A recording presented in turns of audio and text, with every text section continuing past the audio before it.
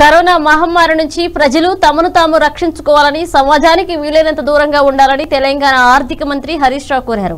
రెండు వేల పంతొమ్మిది డిసెంబర్లో చైనాలోని వుహాన్లో బయటపడ్డ ఈ వైరస్ నూట యాభై దేశాలకు పాకింది. ఈ వైరస్ మన దేశంలోని మన రాష్ట్రంలోని కూడా ప్రవేశించింది. ఇది ఒకరి నుండి ఒకరికి సోకే భయంకరమైన అంటువ్యాధి. నిన్నటి దాకా రాష్ట్రంలోకి వచ్చిన విదేశీయుల్లోనే కనిపించిన ఈ వ్యాధి ఇప్పుడు మన రాష్ట్రంలో ఉన్న వారికి కూడా సోకుతుంది. ఇది ప్రాణాంతరకమైన వైరస్. ఇది సోకకుండా ఉండేందుకు వ్యాక్సిన్ కూడా ఇంకా కనుగొనలేదు. ఇప్పుడు మనల్ని మనం కాపాడుకోగలిగేలా కేవలం ముందు జాగ్రత్త చర్యల ద్వారా మాత్రమే అంటూ తెలిపారు హరీష్ రావు. చేతులు జోడించి అందరినీ వేడుకుంటున్నా. దయచేసి అందరూ తగిన జాగ్రత్తలు తీసుకోండి.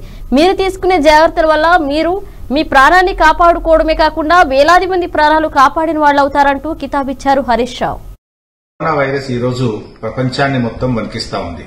దాదాపు వంద యాభై దేశాల్లో ఈ వైరస్ ఇప్పటికే అనేక మందికి సోకి ప్రజలు మృత్యువాత పడతా ఉన్నారు. నిన్నటి వరకు మన దేశంలో కూడా ఇతర దేశాల నుంచి వచ్చిన వారికి మాత్రమే ఈ కరోనా వైరస్ను గుర్తించాం. కానీ ఇప్పుడు మన దేశంలో ఉన్న వారికి కూడా ఈ వ్యాధి సోకడం ప్రారంభమైంది. ఈ వ్యాధికి ఇంతవరకు వ్యాక్సిన్ లేదు. దీనికి ఉన్నదల్లా ఒక్కటే ముందు జాగ్రత్త చర్యలు తీసుకోవడం. నేను మీ అందరినీ కోరేది ఒక్కటే దయచేసి ముందు జాగ్రత్తలు ఈరోజు ప్రభుత్వం సూచించిన విధంగా అందరూ కూడా పాటించండి. అత్యవసరమైతే తప్ప ఇళ్ళలో నుంచి బయటకు రాకండి.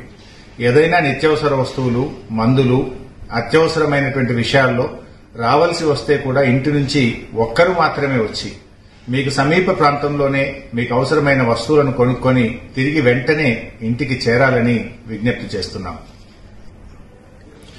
జ్వరము ఒళ్ళు నొప్పులు దగ్గు జలుబు లాంటివి వస్తే వెంటనే ప్రభుత్వ ఆసుపత్రికి రండి వైద్యులను సంప్రదించండి.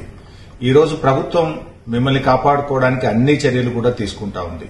గౌరవ ముఖ్యమంత్రి గారు స్వయంగా అనుక్షణం నిరంతరం కూడా ఈరోజు రాష్ట్రమంతా కూడా వారు పర్యవేక్షిస్తా ఉన్నారు. అందువల్ల ప్రభుత్వం ముఖ్యమంత్రి గారు సూచించిన విధంగా ఈ నెల ముప్పై ఒకటో తేదీ వరకు ఎవ్వరూ కూడా వీధుల్లోకి రావద్దు.